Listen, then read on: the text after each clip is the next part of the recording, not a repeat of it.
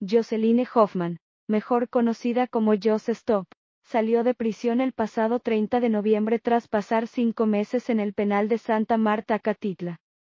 La UTV fue acusada por Ainara Suárez por presuntos delitos de pornografía infantil. Desde su salida, Joss Stop ha dado pocas entrevistas, una de estas fue con Roberto Martínez, donde explicó sus planes como creadora digital. La entrevista para el canal del Regiomontano se dio en los 20 días posteriores a su salida de prisión contó Hoffman. En creativo explicó qué sucederá con su carrera en YouTube, así como en otros ámbitos. Honestamente no sé qué va a pasar bien con mis canales. Lo que tengo pensado hacer es un libro. De entrada, dijo. Sobre la imagen que busca proyectar Joss Stop mencionó que buscará ser más reflexiva. En su estancia en prisión escribió un sinfín de pensamientos, incluso llenó cuadernos enteros. Es por ello que sus publicaciones durante su detención distanciaban a como era en YouTube, explicó. Es esta dualidad, donde nos sentimos bien y otros días donde se te viene el mundo encima, dijo. El libro mencionado, según la propia autora, saldrá el próximo año. No añadió ningún detalle más, pero por lo declarado en su entrevista será de corte autobiográfico sobre su paso en la cárcel de Santa Marta Catitla. El entrevistador Roberto Martínez invitó a que cuando se lance el texto vuelva para contar más. Agregó que seguirá con el podcast que tiene con su pareja. Por otro lado, Joss Stop no negó buscar espacio en otras plataformas fuera de YouTube. Me pasa mucho. La gente me pregunta, ¿qué vas a hacer? No sé. Ahorita estoy afuera, estoy libre, estoy feliz. Ya el próximo año veo agregó. Por otro lado, lado, explicó que ya no se siente como la de antes. Según la creadora de contenido, la experiencia en prisión la cambió radicalmente y ahora nota ciertas irresponsabilidades que cometió en el pasado.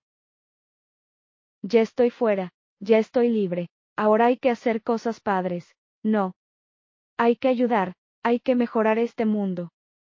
Hay cosas muy feas y cosas muy bonitas, en que me quiero enfocar, en lo malo o en lo bueno. Yo me quiero enfocar en lo bueno, comentó Joss Stop. Pese a ganar su popularidad en YouTube, Hoffman calificó a dicho espacio como una relación tóxica. También explicó que ya no le otorgó tanto peso a su carrera como creadora de videos. Ya no. Si sigue YouTube, padre, si no, no me importa. No es que dependa de él, Jocelyn aceptó verse más atraída por otras redes sociales y aunque sumó millones de suscriptores, su paso por YouTube pareció llegar a su fin. Me paguen o no me paguen. Fue padre soltar a YouTube, concluyó Joss Stop. Joss Stop aclaró el rumor que trascendió en su salida. Según diversos medios de comunicación, la UTV cobraba hasta un millón de pesos por entrevista. No obstante, Hoffman negó totalmente esa información. Incluso, destacó, no le ha respondido a ningún programa de espectáculos.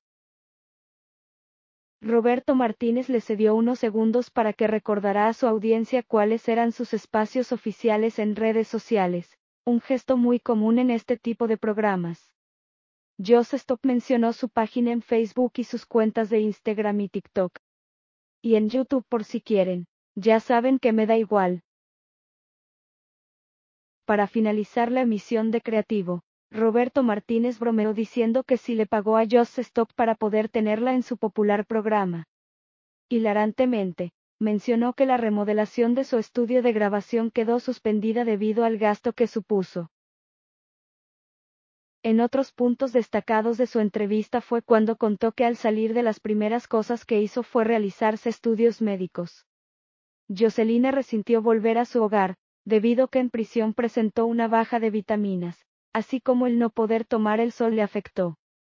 No obstante, dijo que no fue nada grave. De igual modo, la creadora de contenido remarcó que se entregó a la espiritualidad en esos cinco meses en la cárcel. Su tiempo de soledad la hizo reflexionar sobre Dios.